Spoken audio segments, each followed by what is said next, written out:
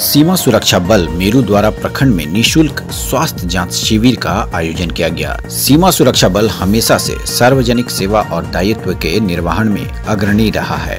Doctor प्रेमा गांधी बाबा अध्यक्षा द्वारा इस जाँच शिविर का विधिवत उद्घाटन फीता काटकर व दीप प्रज्वलित कर किया गया, जहाँ अनुभवी चिकित्सकों के द्वारा जाँच किया गया। वहीं बड़ी संख्या में लोगों ने अपने स्वास्थ्य की जाँच करवाई। शिविर के दौरान कुल 1820 व्यक्तियों की जाँच हुई एवं निशुल्क दवाई वितरित की गई महानिरीक्षक ने कहा की प्रत्येक वर्ष सीमा सुरक्षा बल सदर अस्पताल के सहयोग ऐसी ज़रूरी गाँव को चिन्हित करने के उपरांत स्वास्थ्य जाँच शिविर का आयोजन करता है। खबर तीन सौ पैंसठ न्यूज़ के लिए दारू प्रखंड से सुमन सिन्हा की रिपोर्ट। आज का कार्यक्रम यहाँ मेडिकल कैंप का आ, हमने आयोजन किया है। तो इसको आ, हमने एक टीम लगाई थी आइडेंटिफिकेशन करने के लिए कि कौन से एरिया में ज़्यादा नीड है। तो फिर ये एरिया हमने सेलेक्ट किया और सेलेक्ट करने के बाद हमने इनपुट्स भी लिए कि यहाँ किस तरह के पेशेंट्स हैं। और उसके हिसाब से हमने डॉक्टरों की टीम इन कोलोब्रेशन विद जो हमारा सिविल हॉस्पिटल है सदर हॉस्पिटल है उनके भी हमने डॉक्टर्स बुलाए हैं दवाइयाँ हैं। यहाँ पर हमने लैब भी लगाई है। किसी का ब्लड टेस्ट होना है किसी का यूरिन टेस्ट होना है या अन्य तरह के चेक चेकअप्स हैं। यदि हमें मिलता है कोई पेशेंट ज़्यादा किसी को परेशानी है तो हजारीबाग भी यहाँ से दूर नहीं है। हम आज नहीं तो कल उसको हजारीबाग लगा के भी चेक कर लेंगे। हमारे दो चीज़ें हम इसमें हमारा ऑब्जेक्टिव है। एक तो पेशेंट्स की क्या प्रॉब्लम्स हैं। अभी हमारी वाइफ हैं जो कि बाबा अध्यक्षा हैं यहाँ की doctor she is also doctor वो दिल्ली में है बी एल कपूर हॉस्पिटल में काम करती हैं वो। तो आ, उनका इसमें काफ़ी योगदान रहा है।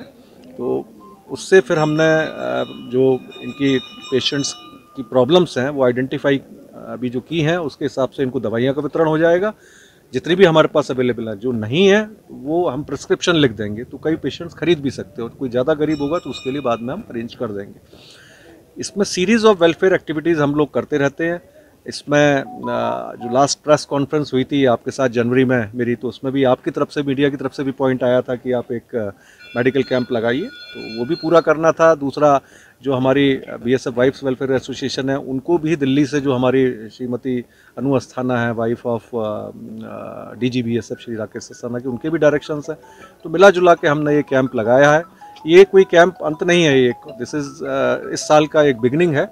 और जहाँ जहाँ ज़रूरत होगी हम फिर वहाँ पर कैंप लगाएँगे और बीएसएफ का पब्लिक के साथ हमेशा जुड़ाव रहा है चाहे बॉर्डर हो। और मेरू कैंप तो देखिए बहुत पुराना है।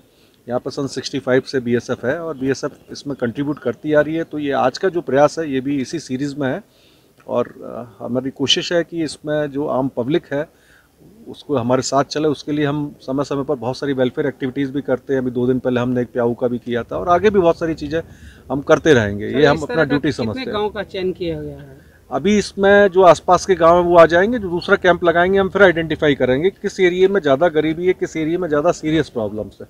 This would be done based on certain inputs ये कोई ऐसे ही नहीं करेंगे हम। मतलब ये सब सोच समझ के, जहाँ ज़्यादा परेशानी है, जहाँ ये लोग नहीं जा पा रहे हैं सिविल हॉस्पिटल में, जहाँ बूढ़ी ज़्यादा जनता है, हम उन्हीं गाँव को टारगेट करेंगे ताकि उसका फ़ायदा हो मतलब लोगों को।